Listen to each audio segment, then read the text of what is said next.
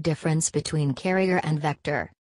Diseases are caused by pathogenic microorganisms and infectious particles. Disease transmission occurs through vectors and carriers.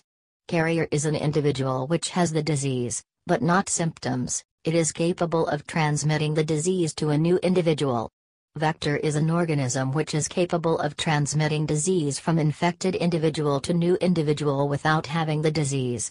This is the key difference between carrier and vector. Both carrier and vector are responsible for disease occurrence and spreading between organisms.